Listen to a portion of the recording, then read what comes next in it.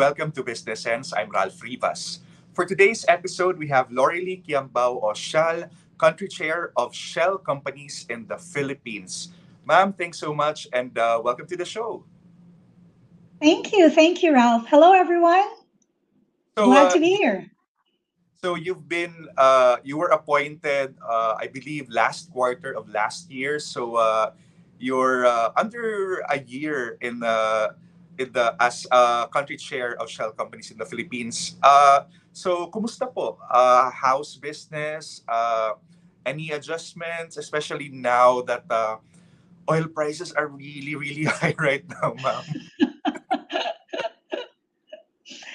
um, it has been, I think it has been great. Um, being in the role, uh, I can say that, and being back in, I think being in the Philippines, uh, doing this great role in the Philippines, uh, that has been great. It has been a challenging time, as you mentioned, um, but I've also been in the energy industry for 20 years um, in different parts uh, of the world and also in the Philippines, and it is one of the uh, industries that is very relevant to whatever is happening in the world, and therefore. Um, you could also say that throughout my career that I have seen um, just the ups and downs of the external environment and the role that Shell has played through that. Uh, and having said that, uh, Shell uh, in the Philippines has been in the country for 108 years uh, as a partner in nation building. So we have also uh, been through a lot uh, together with the country in the last in the last 108 years. So, uh, as I said earlier, oil prices are really uh, skyrocketing. It's so uh, the volatility is quite uh, something. I mean, uh, this week there there's a reduction in prices, but uh, you know we'll never really know. I mean, um, maybe next week will it, it's going to go up again because of all the global uncertainties. So. how do you deal with this? What's your leadership style, especially now that uh, all these uncertainties are in place. Yeah, no, indeed, that is correct, Ralph. Um, I'll, I'll probably res- respond to and comment on the oil price uh, first. And indeed, I think the uh, prices uh, and oil prices are pretty much determined by market forces. Uh, so, as you said, uh, there is a lot of impact when it comes to geopolitical happenings, uh, for example, anywhere around uh, anywhere around the world. Um, so, as a leader, um, but I also think not just as a leader in an energy company, but I guess as a leader these days, uh, everyone has had to manage um, through times of change and through times of uncertainty. Um, prior to the pandemic, I think we already see that we already saw the world evolving, and then we had the pandemic, and then now we are emerging from it, um, still defining um, what the future of work will look like. But at the same time, you also see the Russia-Ukraine war.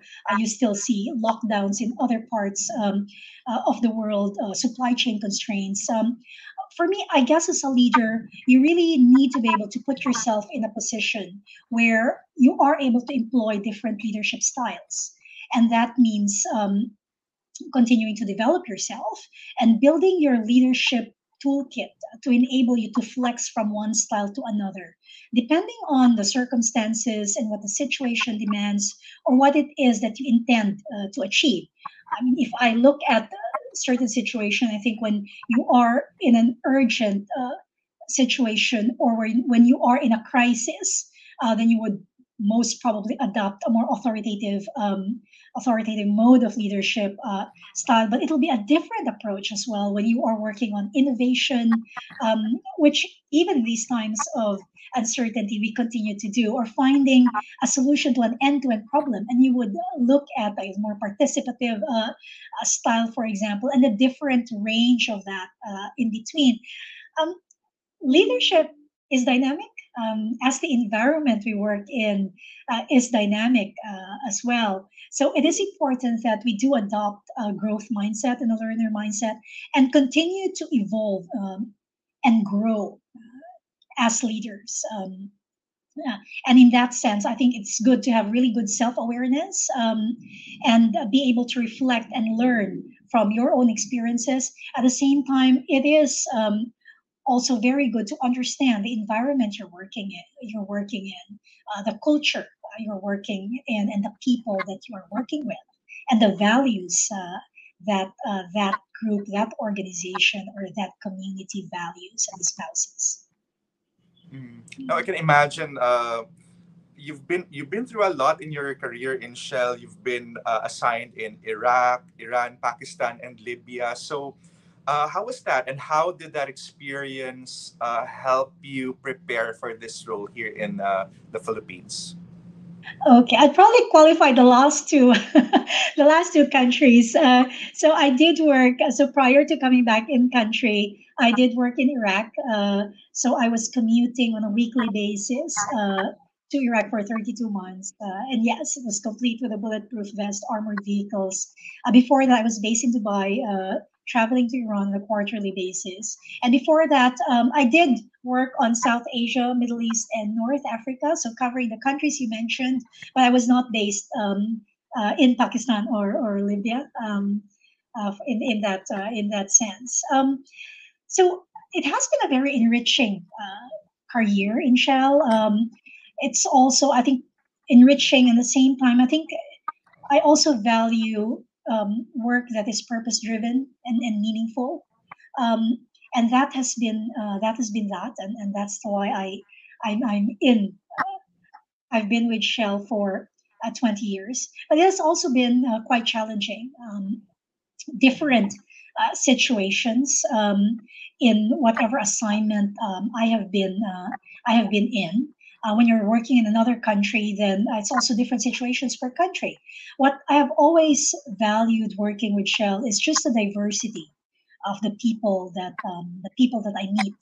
Um, uh, it's it's fascinating and, and interesting. People of all walks of life that you meet, either uh, as your colleagues, but uh, but also in the communities that uh, in the communities that you work with, and it is then looking at the uniqueness in people and how you bring them together uh, and how you bring out their strengths, um, help people uh, develop uh, capabilities, and at the same time, uh, set up an environment where people can work together, uh, can collaborate, and can feel valued.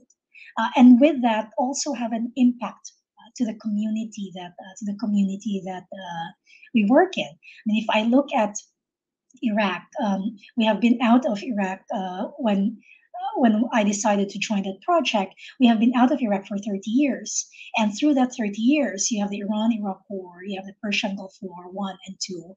Um, and then going in and then working in a joint venture uh, with uh, 4,000 to 5,000 uh, Iraqis um, uh, and and bringing, I think, uh, rehabilitating, rejuvenating, and building new facilities to develop their gas, uh, to develop their gas, um, uh, their associated gas, uh, was really for me something meaningful. Um, when we came in, um, they only had two hours of electricity in the summer. I was there for 32 months. I guess by the time I left, it was 11 hours, and and now it is even more than that. Um, I remember when. Uh, solar lamps were provided to some of the communities and how everyone, families, went out on a picnic uh, on the streets. Um, so that was Iraq. And then if I look at how we're doing here in Shell in the Philippines, um, our social arm, Pilipinas Shell Foundation, uh, that has been in the country for 40 years. So Shell itself, 108, uh, Pilipinas Shell Foundation for 40 years. Um, and we've had um, 12 million beneficiaries as of August 19 when we celebrated our 40th anniversary. And looking at them, we, we started with capability building, I think around 20 um, beneficiaries. And now we have six pillars. If you're looking at education, energy, environment, health and safety, uh, livelihood, nutrition, and food security.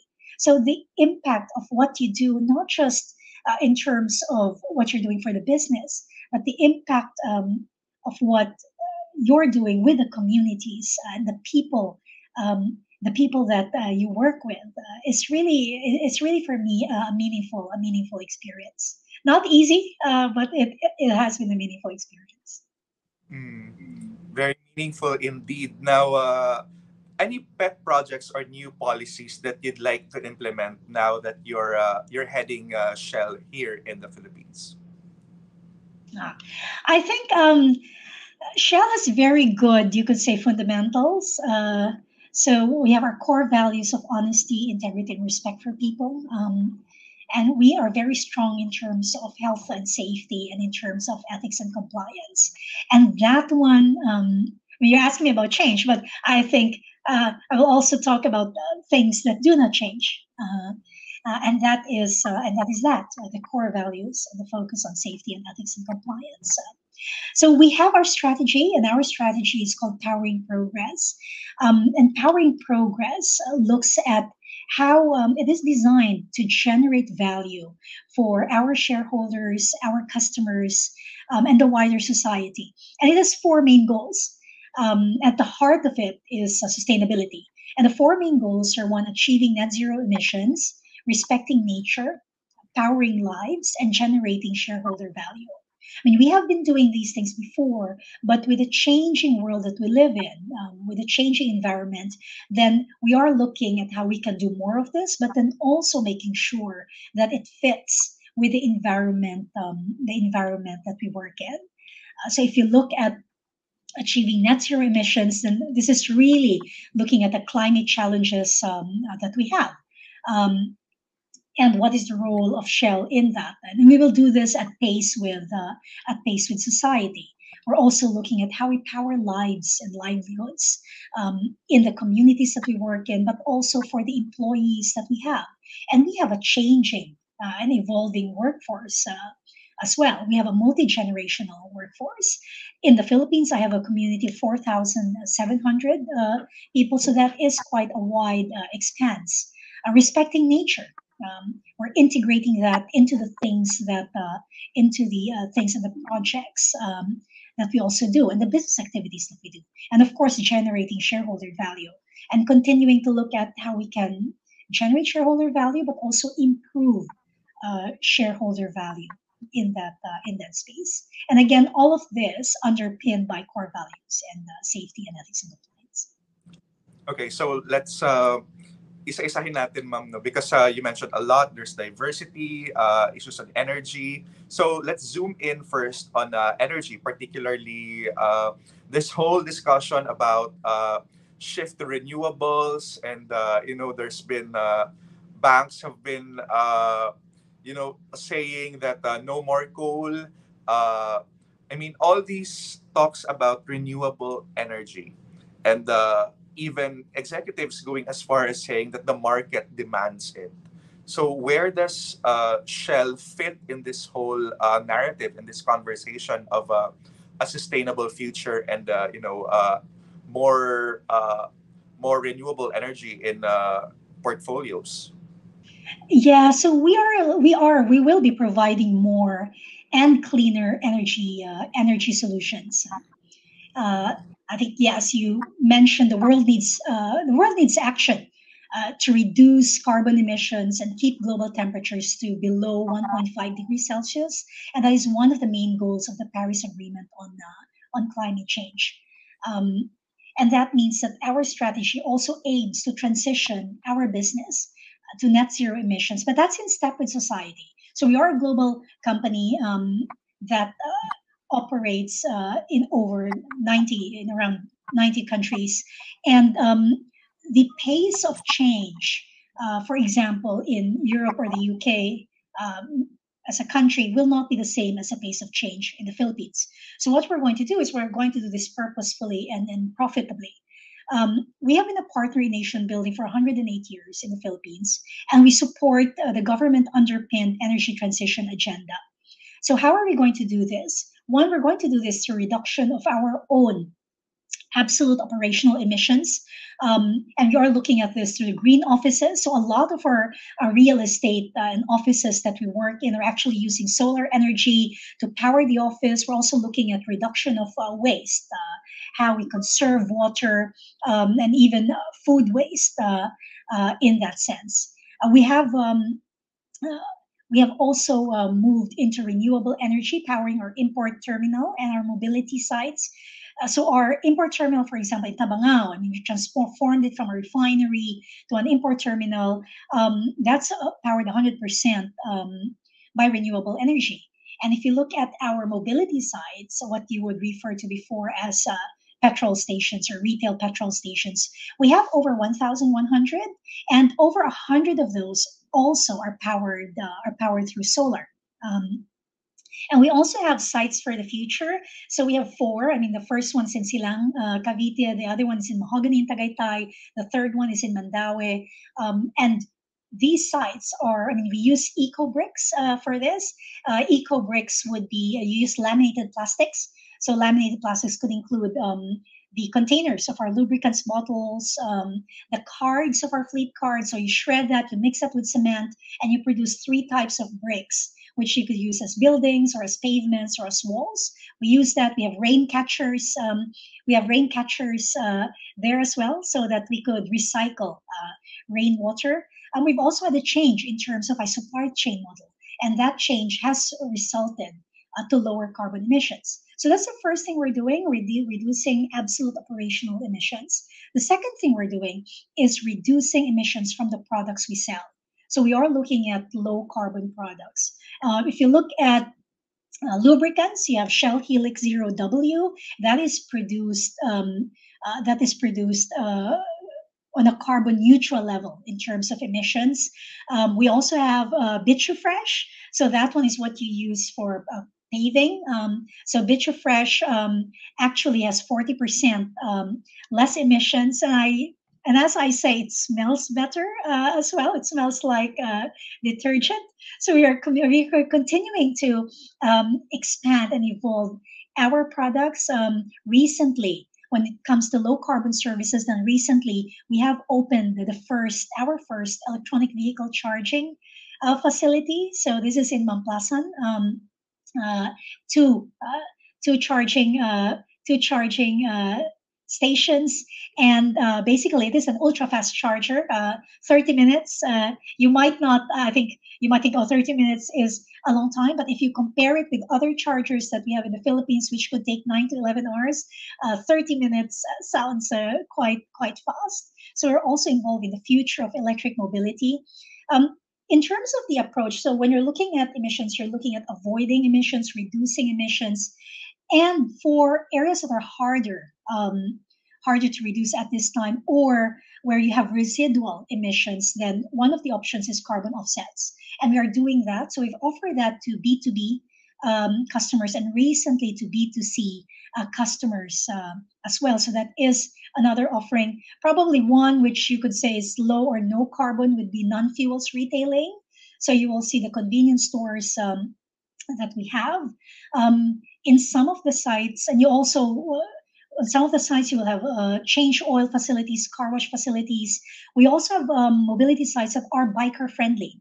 Um, so it, it really uh, it really means um, it really means we are providing rest spaces uh, and facilities uh, for bikers um, uh, bikers to rest. We have a power trading business. Um, in the Philippines. I think not many may know about that. At the same time, we have also entered the renewable energy uh, generation space. So we recently announced our partnership with Emerging Power uh, Incorporated to look at onshore solar, wind, and battery uh, storage facilities uh, as well. So that's the second one. I mean, we're also looking at uh, helping sectors decarbonize, and that's why for construction and road, and we are holding roundtable talks um, and webcasts as well for fleet solutions that help our customers and our partners uh, decarbonize.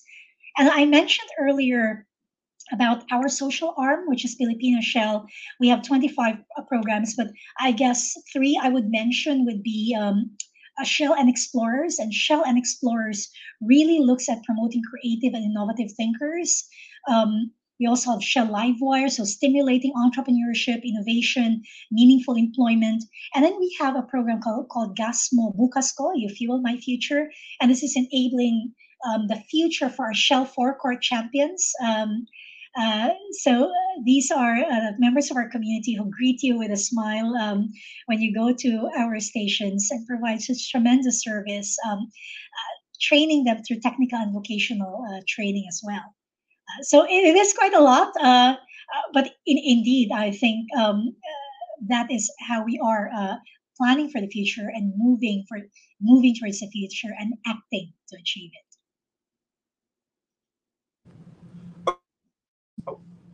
Now I want to zoom in on uh, your brief discussion on uh, your future project, future and current uh, products. So uh, renewables, that was interesting. So uh, describe to us the uh, how the portfolio of Shell would look like, say, 20, 50 years, if you can disclose so. ah, oh, I, I wish. I mean, I wish I could do that with such clarity. I think the job would be so much better uh, if I do that. Um, but the world is evolving, so we are evolving um, in that uh, in that space. So the footprint, our footprint in the Philippines, is also changing. I think one thing I can say is that we are here to stay, and we are here. Uh, we are here to grow. Uh, but it will be, as um, I mentioned, a different uh, portfolio. From a downstream perspective, then we are continuing to grow our downstream business. So I mentioned the retail side, so we are evolving that um, uh, beyond being a retail petrol site to become a mobility destination, and that's why we have offerings not just for motorists but for passengers, um, uh, for passengers as well. And we are expanding that uh, that network. If you look at where the Philippines is compared with our other Asian countries, we have we still have a uh, a very low motorization rate compared to other countries. I mean, it might not feel like that um, when you are in Metro Manila, but that is certainly uh, the case. Uh, so we are continuing to grow our downstream network. So we are growing by 40 to 60 um, mobility sites until um, until 20, uh, 2025. Uh, and with that, as I mentioned, reducing uh, carbon emissions um, and decarbonizing in terms of our operations. Now, to be able to support uh, that growth, I mean, which is driven really by um, society's growth and our projections, then we need to make sure that we have a good supply chain behind it. And therefore, we are also putting in additions uh, to the supply chain uh, that we have. Uh, in April this year, we recently broke ground. So we have 24 uh, terminals around the country, but we have um, three medium range capable um, terminals, and we have gone on our fourth one, uh, and we broke ground in Darong, Davao City uh, in April this year. And we are aiming um, to have five by 2025, and that is to support what I mentioned the growth on, on the networks. Um, we continue to look at uh, to innovate in terms of the products that um, the products that uh, we offer, um, and that is uh, a few of the things that I mentioned: the fuel space, but also um, uh, in the non uh, in the non-fuels uh, space as well. So from a downstream perspective, that is what we are doing. Um, if I look at the renewable space, uh, then uh, the power trading business, we are on our third year. Um, uh, as I mentioned, that is growing, and we're looking at commercial and industrial customers in that space. And then from the power trading piece, then we are looking at power generation. And that's why um, we have uh, signed an agreement to form a joint venture.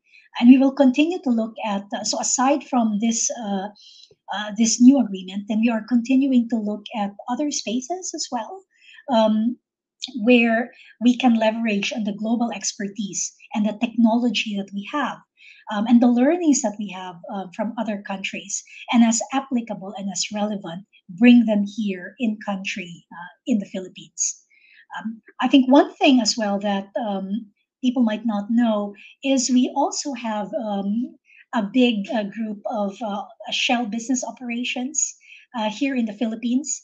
Um, it started with, I think, 15, 16 years ago, and we're now at 4,200. So we grew during the pandemic, and we're continuing, uh, we're continuing uh, to grow. So under our Shell business operations, then we have functional support um, such as finance, human resources, contracting and procurement, your customer operations, uh, trading and supply operations. But um, we're also expanding it. So our Shell business operations actually includes technical and engineering services. So we support assets from all around the world, and we're also doing marketing and advertising. Uh, in fact, most of the brand's work that we do um, for Shell as a brand globally, it's being done internally here in um, uh, here in Metro uh, here in Metro Manila. Um, we are also starting to partner closely with our business uh, operations, such as mobility. So some of the roles that we have from the business side is also inter- in Shell business operations. Um, technology. So we are leveraging on uh, technology and digital tools as we ensure that we continue to progress uh, and, and really work on our process excellence, but at the same time, also look at um, digital transformation digital transformation as well. So there are a lot of opportunities. Um, I guess uh, not as long term as a, a view um, as you wanted uh, as you wanted to ask me, uh, but uh, I think as evidenced by, by what I mentioned, then definitely an evolving footprint uh, and a growing footprint here in the country. Now, the the current administration, President Marcos has expressed that he is uh, prioritizing the energy sector, especially uh, with lots of uncertainties in the countries. Uh, you know, uh, in recent weeks, outages here and there, and the global oil prices still uncertain. So, uh, what are your thoughts of, uh, say, the, the the policies that he has expressed so far, and there are also talks of nuclear energy. So, uh, do you have any thoughts on that? So you are correct. Um, I think I do agree in this. I, I, do agree that we need to focus on the energy security uh, of our country. Um, we have plans for growth, and I think we have, as a country, have ambitious plans for growth, um, and that means that um, that means that you're also looking at if you look at the growth of other countries um, uh, and how that has progressed then when in the past when other countries have grown then there has also been a lot of reliance in terms of uh, hydrocarbons and in terms of fossil fuels. Uh, these days we do need to look at the balance uh, in terms of pushing forward uh, socioeconomic growth but then also looking at uh, climate change and how we take care of the environment um, and that means that we need to look closely at the projected uh, energy demand that we have, and then looking at what are the sources of supply. I think from a demand perspective, and as you grow, um, it is expected that your energy needs grow with that. But for me, I would also call on efficiency uh, in terms of managing the demand and really making sure that um, we are not wasteful in terms of the energy that um, we are using. And that means that uh, we have a good view of a realistic uh, demand uh, where it is efficient, and then look at possible sources of uh, possible sources of, of energy. Um, but then also looking, I guess, the other thing on that um, here in the Philippines is affordability as well. Um, we need to make sure that it is also affordable um, uh, for us uh, for us Filipinos. And there can be a wide range of um, there can be a wide range of solutions um, in place. Um, and even when you talk about if you talk about indigenous sources, hydrocarbons, renewable, uh, there can be a path uh, in terms of how you really maximize and utilize the country's natural resources at the same time doing so and doing that in a way that is efficient and in a way that also takes care of the environment. Uh, and with that uh, are the varying solutions that we have, including uh, including nuclear energy uh, as an option, uh, should the government decide to do so. Mm. Now, I will close this interview with mag magwa one year na po kayo as the president and CEO of Pilipinas Shell and leading the uh, Shell companies in the Philippines. And uh, you're the first Filipina to be appointed as such. So, uh, how do you now ensure moving forward uh, to continue a trend of diversity in the workplace and uh, uh, any future plans that we we should anticipate? Thanks. Uh, thanks for that, Ralph. Uh, it is an honor. I, think uh, it is an honor uh, for me to be the first female um, president um, and country chair uh, in Shell after 108 years. Um, although I, as I said, I don't really believe that leadership has a gender. Um, and, and I do, I think for me, moving forward, uh, I think I do hope that uh, we will come to a time uh, that indeed uh, it is more and more recognized that uh, uh, leadership does not have have a gender. But I do value, I do value the just the focus of Shell when it comes to diversity, equity, and inclusion. Uh, and I mentioned earlier our strategy, and I'm really pleased that one of that is powering lives, um, because part of powering lives, aside from um, uh, powering lives and livelihoods with our energy products, is also looking at our company. And we are working to become one of the most diverse and inclusive companies uh, in the world, where everyone feels valued and respected. Uh, and we are focusing on, gender for one, because that still needs uh, attention. Um, but the other areas we're looking at will be is LGBT plus, and also uh, persons with disability and race and ethnicity uh, as well. I really believe that uh, with the with just the challenges that we face today, how the world is evolving, um, as a company, we need to be reflective of society and we need to be reflective of the customers uh, that we have. And if you're looking at solutions for the future, and if you're looking at innovation, I think just the power of diverse thinking and the power of the different perspectives that we will have when it's reflective of the society that we serve and the customers that we serve uh, will really propel us. Um, will really propel us to be one of the more, most successful companies uh, in the country and in the world.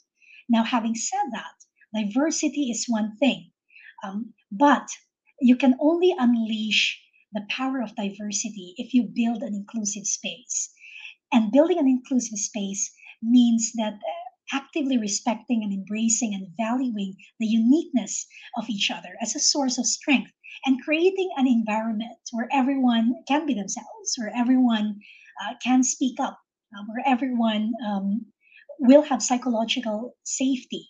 And that drives uh, that really drives human performance as well will allow us to really um, unleash the power of that uh, diversity. So i do hope to see more of that um, and i do hope um, to push forward the gender agenda but also go beyond gender and looking at other areas of diversity and, and really recognizing and celebrating the uniqueness of each individual and the uniqueness of people and putting that in an environment uh, where they can be themselves and speak up and really contribute uh, in terms of how we can shape the future or reimagine the future moving forward. And on that note, thank you so much, Lorelie Quiambao Oshal, Country Chair of Shell Companies in the Philippines. This has been another episode of Business Sense. I'm Ralph Rivas. Thanks for watching.